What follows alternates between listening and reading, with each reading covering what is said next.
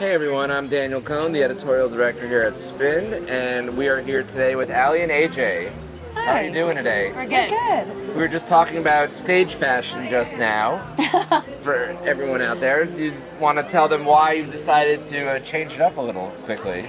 You know what? These days, all we need on stage is a great watch, a bolo tie, and a handkerchief. Yeah, and we're And I'm good. happy. I'm not a huge jewelry person, and this just makes me feel complete we- when I go on stage. We stage. try to kind of like revolve our outfits so it's, I mean, you know, I think it's better to be sustainable than to wear a brand new outfit every single time you're on stage. It's like, why not reuse it? Efficiency. yeah, and as long as It's you know, efficient. as long as it doesn't get too smelly after the show, it's like we can wear it for night two, three, four. we have know? like 20 of these. we have a lot of the white, t-shirts, you know. You can't go wrong with the white t-shirt. You really You can, can't. honestly. And Wrangler, I feel like Wrangler pants, a white like t-shirt. I feel like it's a highly underrated item. Very Americana. It is. It is yeah. Americana. Classic. It is classic. Yeah. So uh, we were just talking off camera, and an issue that's very important to you both is gun control, education, and safety. With all the stuff that's going on in this country, how did why we know why that's important, but what do you see as being measures that can help show people why it's so important to just be informed about what you have? Well, a, a big um, reason why we ended up bringing out Northwell Health on our most recent tour um, was because we were able to create this pledge with them so we could ask fans every night to take part in it. And the, the pledge is really simple. It was basically just to commit to going home and asking if there's an unlocked gun in the house they're living in or in a house they're, they're visiting. And I feel like that's just one really small step. It might just seem so simple that people don't even think about it. But I really do believe that just by knowing, okay, there's an unlocked gun in this home, maybe I don't want to be in this home. Maybe I don't want to step foot in here. Or I don't want to maybe drop my kid off at this person's house knowing that. And I know it's a scary thing to ask, it's a question that can feel uncomfortable. But I do believe that it gets us one step further to ending this, you know, epidemic that we have around gun violence. Um, obviously, on top of that, we'd love to ban assault weapons, but that's its whole other subject matter. At least we can focus on the fact that having a gun that's properly stored. stored, that is important. And I do believe that gun owners and non-gun owners can agree to that. And that was kind of where that that whole mission really started. And the us. personal connection for Aly and I, where it all ties in, um, is really due to the fact that uh, us, along with our band and crew, survived a mass shooting last year on April 2nd. And it was the first date of our tour. And to me, knowing what we've been through and how it felt in that moment, and knowing that six people died on the street that night in Sacramento is something we will never forget. So we feel like it is our duty at this point to get on the front lines and start talking about change and hopefully pushing things forward in the right direction.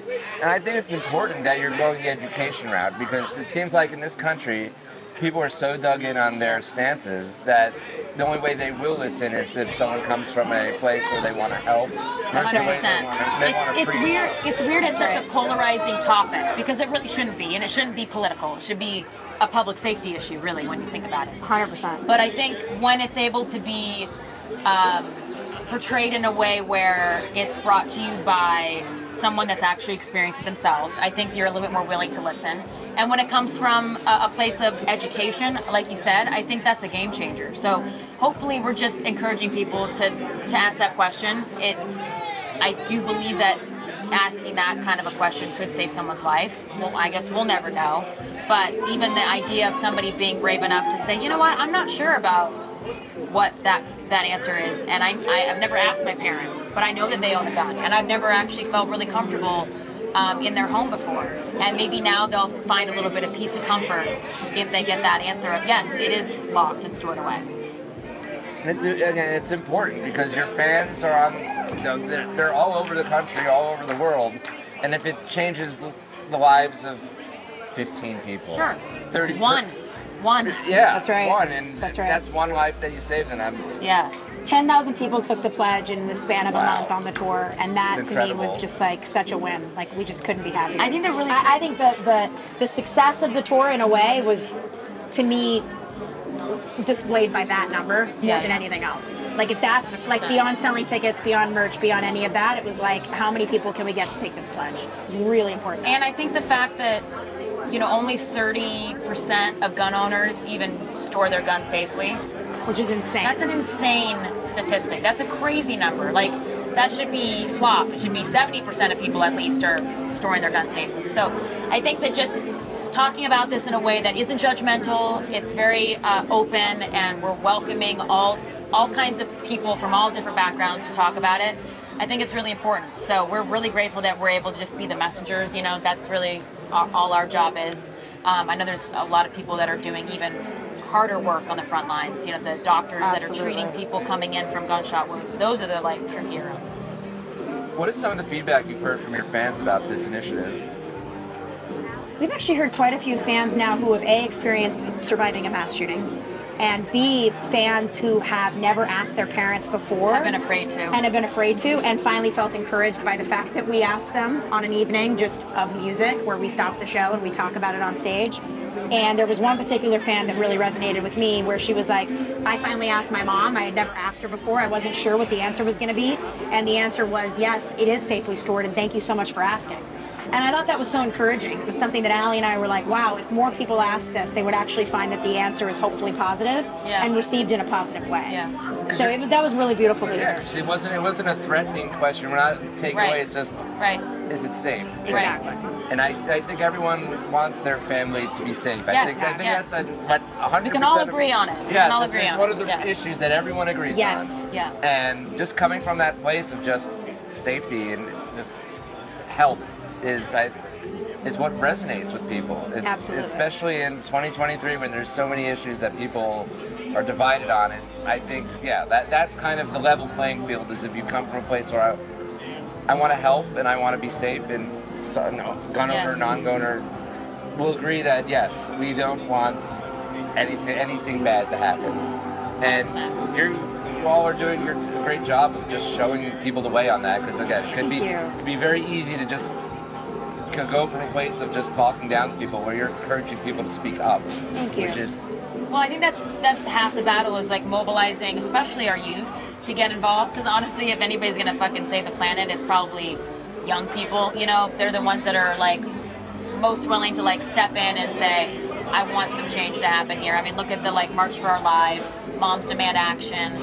I mean, there's some really incredible coalitions that have sprouted out from a very grassroots standpoint, all because of you know the gun violence that's kind of been happening over the past, you know, 20 years. Um, so I, I do believe that our fans are really resonating with it in a way that it doesn't surprise me because I know that they all have really great, incredible hearts. So I'm not shocked night after night seeing the participation, but it's also same. so gratifying. And it just makes us feel like, okay, this is why we do this. It's not just the music. are you going to continue with the initiative on future tours? Yeah, definitely. We plan on it, yeah. Whether it's with Northwell um, Or with some other or with organization, some other yeah. organization, you know, whether it's Everytown or Brady or like Aly said, Moms Demand Action, March for Our Lives. I mean, there we really kind of want to. I, I don't really believe in staying with one foundation when all of these people are representing the same thing. Yeah, I think it would be really good to to spread out the organizations we Yeah, work with. 100%. Have you seen any of your peers uh, address the issue also and like try to encourage their fans to? Kelsea Ballerini is is one that is really vocal about gun safety. Um, she survived a mass shooting, um, I believe, in high school, Yeah. and it's something she talked about at the CMT Awards and I thought CMA Awards, and I thought it was incredibly brave the speech she gave at the start of the show. And we actually DM'd her about it, and she was incredibly gracious about her story. But um, I do see that more peers are starting to come out about this this Yeah. issue. I mean, it is a, it's a pandemic. I mean, even Harry concerned. Styles, him, you know, uh, making Bringing uh, out Everytown. Yeah, bringing out Everytown and, and having a percentage of proceeds of the shows go towards them. I think, I, I mean, it, it all counts. It, a, a, it's an accumulation of people all putting in the work and the time, and then Absolutely. eventually, at the end of the day, you'll see some change. It might be many, many, many, many years from now, but it's like, it's baby steps. You know, it's still something. It's better than nothing. Absolutely. Well, well, thanks for coming by. Thank you. Absolutely. Appreciate the great chat. And is there anything you want to say to everyone out there? We love Spin, and uh, Aly and I have a ridiculous shameless request. We'd love for you guys to review the Yeah, record. review our fucking record. Review with, love, from. Do it. Do it. We We, love you. you. We love Spin. you. We love Spin. Spin. and Thank our new album is out, and uh, we have new dates coming in September for for, uh, For future shows. So come see us on the road.